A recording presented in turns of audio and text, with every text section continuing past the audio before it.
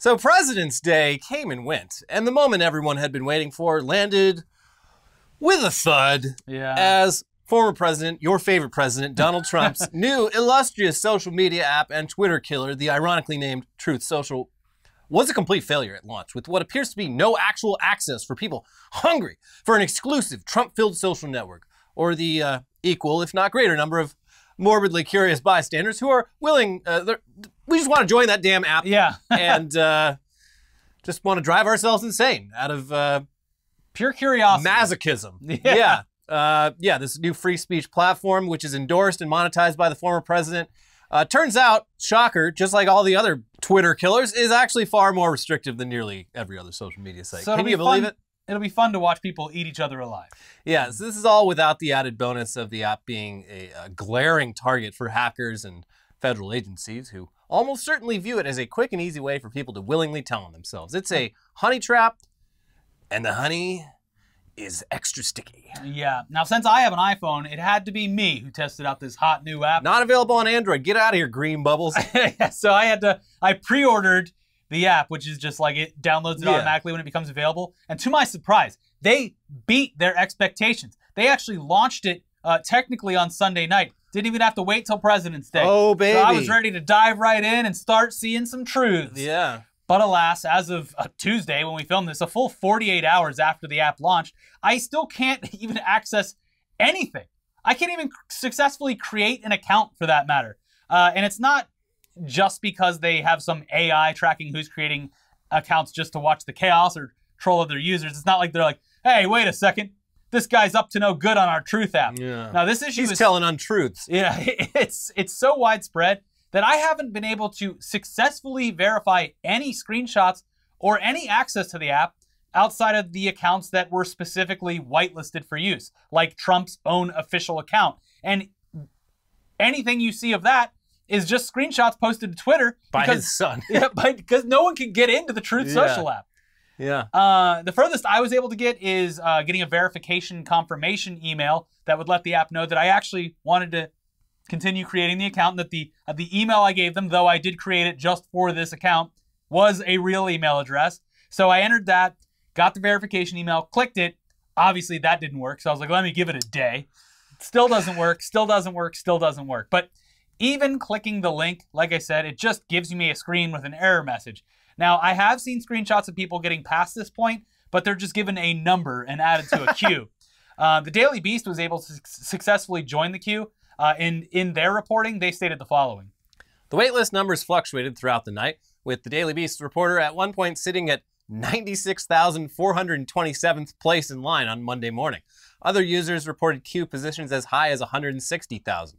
Additionally, on Monday, a web status notice posted to Truth Social's website read, Due to the overwhelming demand at launch, we are currently rate limited on onboarding new users to the platform. We are working to increase sign up capacity for onboarding and will continue to update this status as capacity increases. So it looks like truth will have to wait. And it's not like people didn't see this coming. Uh, nearly every Trump branded product over the past couple decades has been a worse version of something that already exists. And his social media app will be no exception, even when it is fully operational. Yeah. As, If, if it ever is. as people have already pointed out, the very few preview images from the app show that it's essentially identical to Twitter, both visually and regarding functionality, with the only noticeable difference being that the verification bubbles are red instead of blue. Red. Yeah. Uh, also, as we mentioned before, the, the media hosting services, they're going to be done by Rumble, a conservative YouTube alternative that just offered Joe Rogan $100 million to leave Spotify. Hey, remember when Joe Rogan was the biggest news in the world for two weeks straight and then nothing fucking happened? oh, yeah.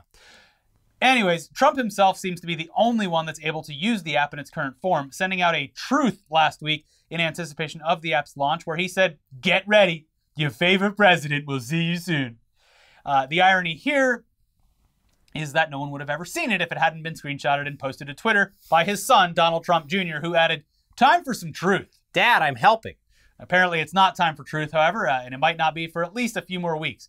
That's according to former Congressman Devin Nunes, who abruptly abandoned his role in the U.S. government in order to take a job at uh, Truth's parent company, the Trump Media and Technology Group. When speaking to Fox News ahead of the app's launch, uh, he said that, quote, our goal is I think we're going to hit it. I think by the end of March, we're going to be fully operational, at least within the United States. And that's despite his appearance on the show revolving around the fact that the launch was on February 21st. Uh, Nunes, of course, has his own vendetta against Twitter. It's a, it's a platform that refuses to ban accounts that portray him as a cow or a cow that mocks him. Yeah. Luckily for him, he has gotten his revenge because it appears as though someone did try to register a Devin Nunes cow account on Truth Social, but was promptly banned from the platform. What about my free speech? Yeah, exactly. Uh, Matt Ortega posted a screenshot of the ban on Twitter with an added message of his own this is censorship. It is. Mm-hmm. So the Truth launch is being seen as a success, though, I guess, at least in terms of attention and downloads. According to Forbes, the app was downloaded 170,000 times during its first day, according to data from Apptopia, a site that tracks the app ecosystem. Although there's no way to know how many people were actually signing up to actually engage and contribute on a new conservative social platform versus just looky loos who were curious about whether or not it was going to be a total shit show and would eventually get bored and wait for truth best ofs to appear on other platforms like Twitter and Reddit. Yeah, I mean, who's, who's, to to say? like, like there's a lot of me and uh, people that we know Yeah, uh, that are just signing up for it to sit back and eat the popcorn. yeah. Um, yeah. So I mean, like, I remember when uh, what was the most recent one? Gettr. When that launched, it was just there. Were, uh, my whole timeline was people making Gettr accounts to just like troll and put like pictures of old men in their underwear and shit. Well, yeah, and then you had Parler, which uh, has been shown to have just been a wonderful gift handed directly to the CIA and FBI. So it's like, I mean, those were active though. I mean, we'd like to say that it's maybe 50 50 on the signups, but if you look at the success of something like Parler, you have to face the reality that there are a lot of very angry weirdos out there who are looking for a place to thrive after their accounts have been banned or suspended on mainstream sites like Facebook and Twitter. Yeah, but where's the fun in it if you can't get get mad at other people and uh, make them mad at you? wasn't that a, a problem initially with Parler with uh, some uh, provocateurs Yeah. who were like, "This isn't fun." Like Yeah. it's like Milo Yiannopoulos was like, "Oh well, it's not fun being on there because everyone just agrees with me." It's because these people, not all of them, but a lot of them, their politics entirely revolves around owning the libs. So when you remove the ability to own the libs from the equation, it's like, well, this fucking sucks. yeah, I'm just re- reading what Donald Yeah. Trump was posting on his news section of his website, except in a what appears to be a Twitter timeline, but isn't. Yeah. Yeah. Anyway, this is all without mentioning that this app is going to be a nightmare for moderation because, like we said, a lot of the people who need an app like this are people who have been banned from other platforms for things like hate speech and spreading misinformation and whatnot. It, it really seems like this is either going to be a nightmare for conservatives because it will be an easy reference, uh, easy to reference example of what their base actually consists of, and Yeah. on that end would make it an easy FBI target like Parler turned out to be, or nearly all actual speech will be restricted on the app, and it will mainly serve as a, newsletter for Donald Trump and his supporters in government. Just an echo chamber for the Trump party and an intricate, easy to use mailing list for his 2024 campaign, which is definitely 100% happening. Yeah, I was convinced. I, I, I still am like wondering if it'll happen where Donald Trump will attempt to negotiate with Putin behind the scenes and strike some kind of like deal in order to make Joe Biden look bad. I mean, Reagan kind of did that uh, while Carter was still president. So that's what I'm, that's what I'm saying. Like if, if this is something, if because Putin knows that that would yeah. like d- even further destabilize trust in the government, of which there is next to Uh, nothing now. I, I yeah. think I'm not trying to give him any ideas, but I could definitely see that happening and happening on Truth Social with an agreement that's backed by the blockchain. Yeah. Because at this point, anything that we spitball that might happen seems to come true. Because reality is stranger than anything else that's happening in You fiction. got to be careful with that spitballing. I know. Lands on the target way too often. it's spitballing. It's just supposed to go to the ceiling or the floor, someone's back in someone's head. Donald It- Trump is it- operating as a, bullseye. he he wasn't lying when he said he was going to operate as like a proxy president down at Mar-a-Lago. Yeah. It's gonna come out. He's gonna be like, yeah, so I spoke with Putin on the phone, and uh, we made a little bit of a deal. I think everyone's gonna be really happy. Uh, they're gonna be pulling back their troops, and uh, Joe Biden looks bad. Also, gas prices. They're gonna Putin's gonna let the gas flow. He know he's very gassy. Ugh, yeah. So I, I am curious to see his takes on the current situation because I think it'll be hard for him to really take much of a stance either way, other than just criticizing. Oh no! If you go to his, uh, his most recent news post on his website, which is a social media platform now Uh-huh. anyway, Yeah. is that uh, this would have never happened when he was president. He had a good relationship with Putin. Uh, Putin would have never done anything like this uh, while he was in charge because he knows that uh, that he would spank their ass. Interesting. hmm Well, enough of that shit. Yeah. What a letdown. Let's get into some goofy Olympic stuff as the games come to a close. Wow. Just flew right by. I know. it? I'll I'll admit that I did end up watching more Winter Olympics than I thought that I would, and that's mostly because they were uh, on late, and I was staying up uh, late recently to play that Lost Ark game, and it was just nice to have on in the background. But uh, lots of skiing, lots of snowboarding, lots of figure skating. Got to watch all that stuff. Pretty good stuff. Lots of flips and spins. Yeah, I I watched about five minutes of it at a restaurant because it was on a TV, and other than that, I've seen uh, seen a few clips, a lot of funny clips, a lot of uh, it's funny. The same month the Jackass comes out, and it's just a lot of dick torture. Uh, seems to be seems to also be happening over in Beijing. Yeah. Um, well, we have two stories out of the Olympics this week that are pretty outrageous, starting with a figure skating duo that is now getting sued by the artists who created the music that was used in their performance on the world stage. Uh, this seems like it could be a straightforward copyright infringement case, but it's a bit odd. Does the synchronized performance aspect of the ice skaters make this transformative? Does it lessen the burden because the song is a cover song anyway, and it's a cover song that is nearly 100 years old? And it's one of the most covered songs in music history, by God. House of the Rising Sun. Oh, Who are they to think they own it? Uh, well, I'm not sure. I don't know anything about the law. We'll have to wait and see. But here's info on this from people.com. Two U.S. figure skaters alongside NBC have been named in a lawsuit that alleges they used a song during an Olympic routine without the artist's permission. On Thursday, musical duo Heavy Young Heathens filed a suit in the Central District of California's Southern District, alleging blatant and purposeful copyright infringement on their version of House of the Rising Sun, which Brandon Frazier and Alexa Knierim used during a recent short program performance at the Beijing Winter Games. In the filing, the group says Frazier and Knierim chose to use the track, which has been featured in various films, television series, video games, and more, for their 2022 Winter Olympics short program without the authorization or permission of the plaintiffs, adding that the defendants recognized plaintiffs' popularity, talent, and goodwill and used the song in a brazen and improper effort to capitalize on plaintiffs' hard work and copyright ownership of it.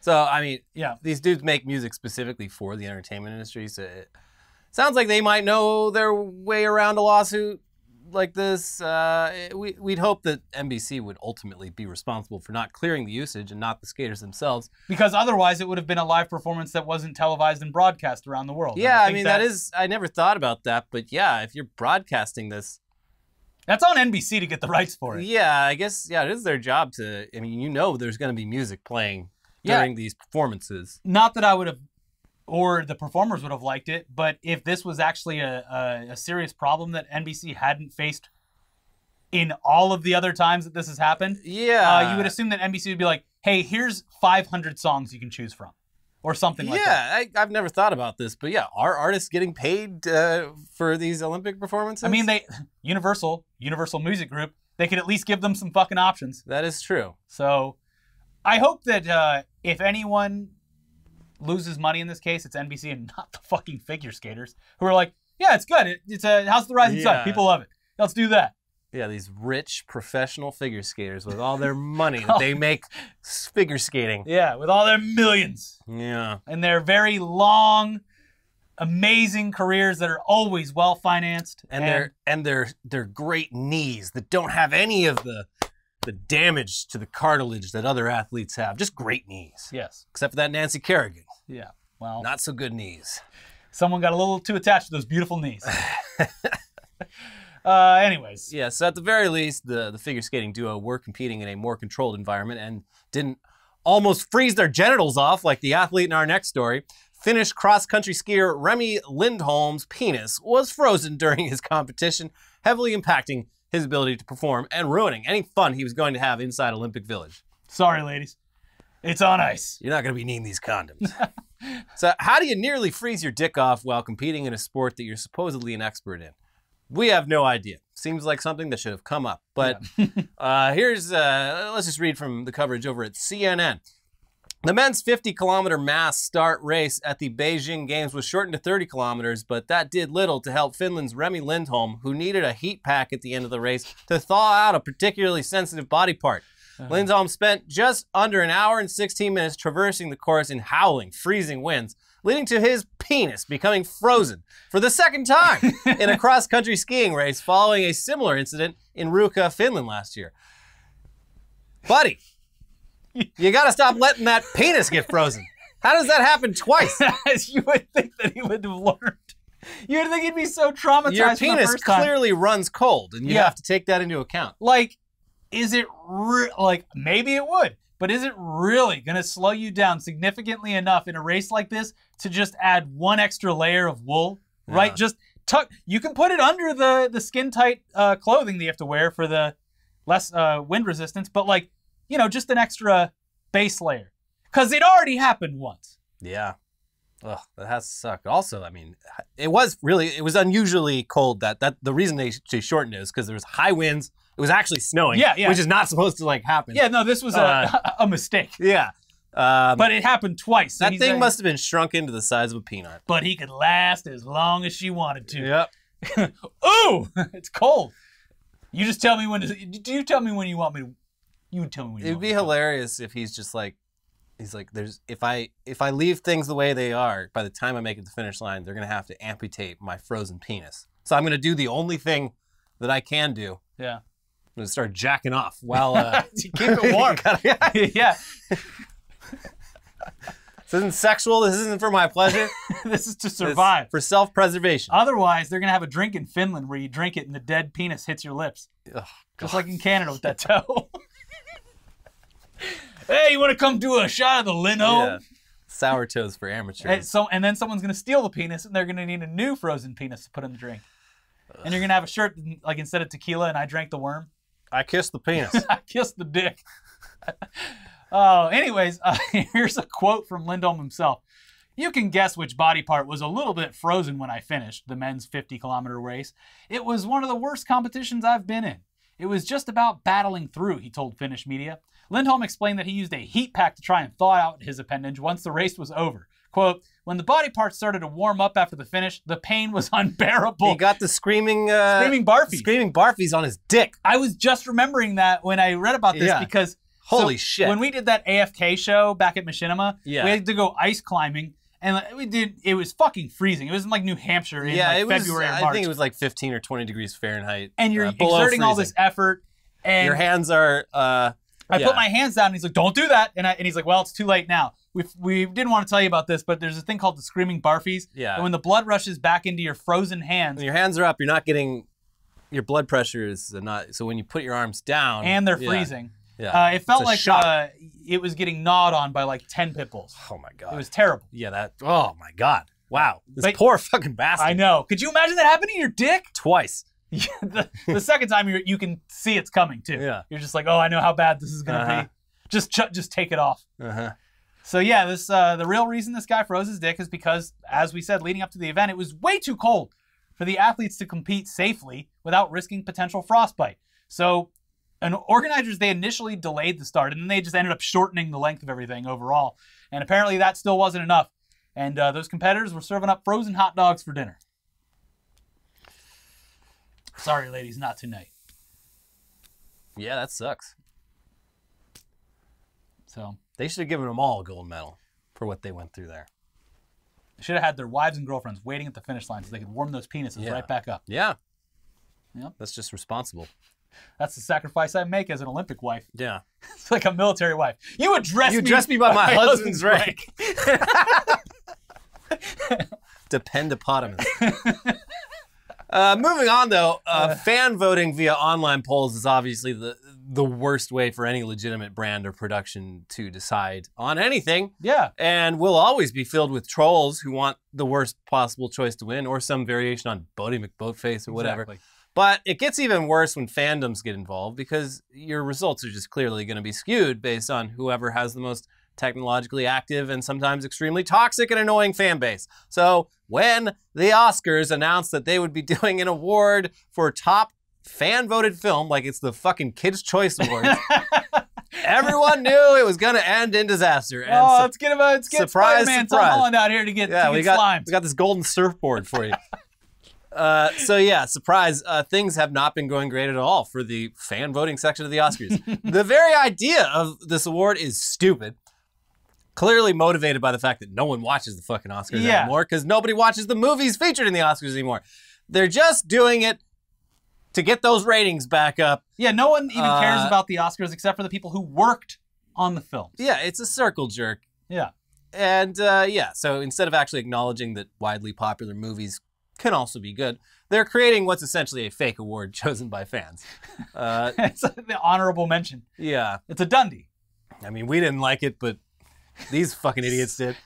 Imagine, like, look, I'm sure whoever actually wins this will be happy to have an Academy Award on their shelf. But like, Oscar winner asterisk fan voted.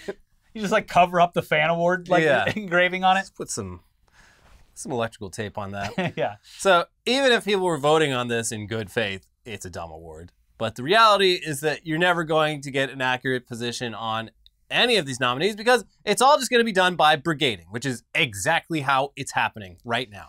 Here's the brief version of uh, what's been going on. Everyone assumed that maybe Spider Man No Way Home would uh, take home an easy win after its performance at the box office. It was obviously very popular, Yeah. and this is supposed to be a award based on popularity and fandom. But no, instead, the Snyder Bros flooded the Oscar sites with a massive amount of nominations for Zack Snyder's version of the Justice League, but then uh, quickly realized the effort was pointless because the film, um, they made it very clear, not eligible to win This is bullshit. because it's technically just like Yeah. a re-edit of a movie that came out in 2017. So it's it's not Oscars eligible. Yeah. Sorry. So I guess they're going to have to nominate the other Snyder movie that came out last year, uh, the, the zombie one. Yep. The, Oh, the no. Academy they put Oh, out a no. list of films that were actually actually eligible, and oh, uh, no. the Snyder fans they altered the course and they have now been flooding the polls with Zack Snyder's zombie movie Army of the Dead, which was released last year on Netflix. Now this has caused a war between the top two titles in the voting: uh, the Zack Snyder film and an Amazon Prime straight to Prime version of Cinderella, which doesn't make any sense. It nobody watched it. It has bad reviews. I didn't know there was a Cinderella movie. It's got to be either a troll vo- vote or uh, it stars Camila Cabello. So I don't know if there's a bunch of like cab heads out there. Who's she? She a singer? I don't know. Is this like a? I don't- Is it a TikToker? I don't know. I'm too old. Maybe there is a fan base for this person online, like the uh, the BTS stands. Yeah. Um, but maybe that's what it is. I'm leaning towards troll vote because it was like probably you look at the list of eligible movies and you're like, what the hell? All right, yeah, let's put this up there. That'll be funny if this wins. Um, a third contender, which is uh, just behind those two movies, is a movie called Minamata, which stars Johnny Depp. Oh my God! Wow, they got all the freaks in here. Holy Yeah. shit! It's surging because of the controversy surrounding the lawsuits between him, Amber Heard, and various uh, news outlets. Essentially, the Oscars brought together all of the worst parts of film Twitter to compete against each other to crown a winner that has to be recognized on the film industry's biggest night and most illustrious awards show. It's either the dumbest thing I've ever seen or actually fucking brilliant. This is actually art. Yeah, uh, I don't think they'll be doing this again next year, and they might not even do it this year. We'd like to bring uh, Camila Cabello up to receive her Oscar for her portrayal of Cinderella in the Amazon Prime original, Cinderella. I'd like to thank the freaks on the internet. We'd like to thank. We'd I'd like, to thank bring, 4chan. We'd like to bring Johnny Depp on stage to receive his Oscar for uh, this new movie. Well, Did you know she shit in my bed? she shit in my bed, and the entire internet knows about it, she and they took a big love me for shit. it. Love me. Anyway, God, uh, let's end today's episode with a. I love this so much. a a big bad bear story for you. Meet Hank the Tank, an extremely obese-looking black bear that has been causing chaos in Lake Tahoe as he roams the landscape in search of leftover beer and pizza, and breaking into more than two dozen homes in the process. Uh, You get between Hank and his pizza, better watch out. better watch out. He might sit on you. So Hank's antics have continued unabated as local officials and the public are apparently unable to stop him. And why should they? This is all their fault anyway. Exactly. Uh, regardless, here's the, the New York Times with more on Hank the Tank. So far, nobody has been able to deter Hank, said Peter Tira, a spokesman for the California Department of Fish and Wildlife. Department officials and the local police have tried to haze the bear with paintballs, beanbags, sirens, and tasers, but he's too drawn to humans and their food to stay away for long. Quote, it's easier to find leftover pizza than to go in the forest, Mr. Tira said on Sunday. Residents have called the police about Hank more than 100 times since July as he continues to rampage through Tahoe Keys, a gated community about 190 miles northeast of San Francisco. That's like every two days. Uh, Hank is is uh, doing something upsetting enough that people call the cops. Well, you can't miss him. He's gigantic. yeah, and uh, this time he's probably just motivated by spite. They keep shooting those paintballs at me. Yeah, what the fuck? Paintballs? You got my fur all sticky and shit. I, they're probably those pepper balls that they Yeah. use in riot uh, riot cops. Whatever it is, it's mean and they should stop. Yeah, uh, this is like those capybaras. It's like you live in bear country. This is going to happen. This is their home. The- it- it- look, I haven't been up there, but like when you go to like Big Bear and you have to lock all of the people Yeah. have to lock their trash cans and shit because of this. yeah, They have to bear proof everything. So I don't understand what. th- th- there's a lot of reasoning that went into this. Uh, the most logical, I guess, logical uh, excuse that I saw in the reporting is that it's because of the pandemic. Like pre-pandemic, everyone that was visiting kind of knew how to treat things, how to respect nature. Yeah. And then you get all these people who have been stir crazy and just want to, and they can't visit anywhere else. So they're like during the pandemic, you couldn't even visit fucking like Disney World and shit. So they're all going to the uh, the real world, like Lake Tahoe, and just fucking throwing their pizza boxes everywhere. yeah, Yeah. guys. It's uh, rule number one of bear country. Don't feed the bears. Yeah, We need a new Yogi Bear to teach people that. only you can prevent bears from fucking up your shit. Hank is literally stealing picnic baskets. Good for him. Uh, their uh, reporting it continues, but uh, takes a dark but not unsurprising turn. Now the authorities are trying to trap Hank and possibly euthanize him. What? Oh, come on. This is a bear that has lost all fear of people, Mr. Tira said. It's a potentially dangerous situation. Hank, so named by the local residents, has used his size and strength to barge through garages, windows, and doors. Hell yeah. As of Thursday, Hank had broken into at least 28 homes. At 500 pounds, Hank is, quote, exceptionally large, the state wildlife authorities said. The average black bear in the western United States weighs 100 to 300 pounds. But Hank's diet of human food and garbage has expanded his size, said Ann Bryant, the executive director of the Bear League, a wildlife rescue service in Homewood, California. He didn't get fat like that eating berries and grubs, she said, adding that it was not clear how Hank developed a taste for human food. So, does he not have to hibernate at some point? Um, there was one article that I read it that went in on that, and basically the big, like, surge of these attacks or rummages or whatever uh, happened around the time where he would be bulking Yeah. for that. So, like, he was trying to find easy amounts of like food. Yeah, they're trying to bulk up as much as possible. Yeah. Although he's clearly he's he's past the point where he He needs, needs to hibernate a long time. Yeah. Uh Hank, I think you've had enough. Yeah. But um don't kill him. I when I was at, I mean, if you go to Yosemite, especially if you stay in the the Curry Village area, which is like a bunch of cabins close together, eh, you see bears every couple days. They, there's always some bears that they, they get a little too comfortable. They're, they're like, well, there's all these all these people with all these food there. So when I was a kid, there was one year where a bear just kept breaking into people's cabins. So the rangers, they finally they found him, they tranquilized him. They let they let all of us pet the bear while it was conked out, which was cool. Get a picture with the bear. Just has this bear just on a stretcher and like, hey, you kids want to pet the bear? Fucking hand this big, uh, very soft though. Yeah. And like, well, what are you gonna do with it? And they're like, oh, we're just gonna airlift him like hundred miles away from here. So why don't they just do that? Just shoot Hank with a tranquilizer. Uh, And, they tried. He's too big. Uh, they got to up the dosage. Yeah. A big, huge tranquilizer dart. Yeah. Yeah. Comically large for a comically large bear. Just uh, put a little bit of that fentanyl in there. Oh, Jesus You only Christ. need a little bit. Yeah. Enough to kill a person, but enough to just make a bear a little bit look groggy. I like how she was like, "We have no idea how you developed a taste for human food." They talk 'Cause about it. Because you left all your trash out Pizza's shit. delicious. Yeah. yeah. It is. Yeah.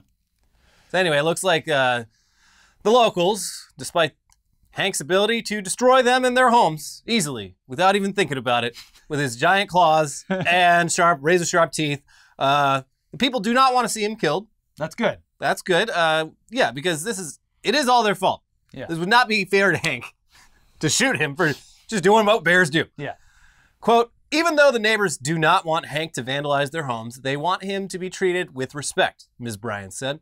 Residents are quick to point out that Hank is gentle and sweet. When he breaks into a home, he is far more interested in the food than any people who may be inside, Ms. Bryant said. He just sits there and eats, she said. He doesn't attack them. He doesn't growl. He doesn't make rude faces. He's better than He's in-laws. A very polite bear. this bear is is better than having the in-laws over because they're not even going to fight over the dinner table. Oh, Hank, you can come over anytime. I love Hank because he doesn't talk politics. My own dinner table. grandkids, they won't come get some of grandma's cooking, but Hank, he shows up every time. We love Hank. We we leave the door open for Hank, He, he might be a little messy, but he's our Hank. and he doesn't bring up the vaccine. No, he doesn't. He believes in personal freedom. yeah, Though other homeowners have reported that Hank has caused extensive property damage, he has not harmed any humans, the authorities said. Why should this big dummy die? Ms. Bryant said. and I agree. Yeah, Yeah, lock up your shit. Stop stop putting food trash in a trash can that is accessible to bears. You have to make some sacrifices Well, living in the fucking mountains. so that's the problem. That's where it started. Where it ended is a 500 a bear that is three times the size of a normal black bear who can literally run through your garage door and get into that freezer where you're keeping all that deer meat that you've got. There's this uh, fucking Reddit video on like r slash unexpected that I always go back to, and it's just like, it's like uh, just a security camera inside of a house, like aiming at the door, and like the door just like flies off its hinges. It's just like, "Brah!" and then there's like a Like an action movie. perfect comedic pause. Like, what the hell did that? And then this bear just walks in like, It, it blows off like a Michael Bay movie. yeah, yeah. And it's it just like, smacks into the hey, wall. what's up? What's going on? in And here?" I think the bear even like holds out its hand to like stop the door from smashing back and closing because he hit it so fucking hard. Yeah. I love it. But yeah, that is true. It's like it, it started with leaving some shit out and it ended with him. like when you hear Hank knocking, you just have to like lock yourself in the room and be Hank, like, just take whatever you want. Please, leave us alone. Hey, y'all hear they lifted the mandate? All right. See you next Tuesday. Y'all see any picnic baskets around here? Ooh, pizza. My favorite. Hank's Anyways. has a- I think I think the Hank problem might sort itself out when uh, his cholesterol gets so high. He has a heart attack. That bear is going to die of natural. That no one, not got- even humans, should be eating human He's gonna get bear gout. They're gonna have to get him one of those little scooters. He's gonna be like the bear in the Shriners. He's gonna drive a little car. Got any pizzas? Hank just uh, performs in parades now. Come on, you didn't all eat all your crusts. Hey, Hank's retired. Don't ask Hank to do a Hey, damn why don't thing. you leave the door open for Hank? Hank doesn't want to break down the door anymore. uh, anyways, leave Hank the fuck alone. Yeah. Hank the Tank. Um, nature will, sadly, because of his interaction with humans, take its course. It will. So, anyways, uh, if you haven't already seen it, uh, we have a recent episode of Weekly Weird News over here, and we have a news dump episode about uh, Walt Disney, the Walt Disney Company buying up a bunch of land out in the desert and saying, "Now you deal with it, Yeah. fans." Disney adults, go right ahead. Secretly, it's a really good idea. They just Yeah. throw them all out in the desert. Disney adult quarantine. hmm Those little mini ears, they better have water in, like a CamelBak. Anyways, watch both of those videos, subscribe to the channel, and uh, this episode isn't sponsored, so become a member by clicking the join button today.